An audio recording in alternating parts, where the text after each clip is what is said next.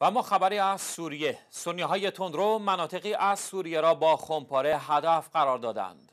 در حمله خمپاره سنی های تندرو به مناطق زینبیه و القصور در شهر دمشق و منطقه السهاری در شهر درعا یازده نفر از جمله یک کودک به شهادت رسیدند و یا مجروح شدند. در حمله گروه های تروریستی به منطقه زینبیه در حومه دمشق پایتخت سوریه یک کودک به شهادت رسیده و شش نفر دیگر مجروح شدند. همچنین چهار نفر از شهروندان سوری بر اثر حملات خمپاره سنی های تندرو به محله مسکونی القصور در دمشق زخمی شدند. محله السهاری در شهر درعا نیز هدف حملات خمپاره سنی های تندروی جبهت و نصره قرار گرفت و خسارات مادی سنگینی به ساختمان های این محله وارد شد که خوشبختانه تلفات جانی در پی نداشت.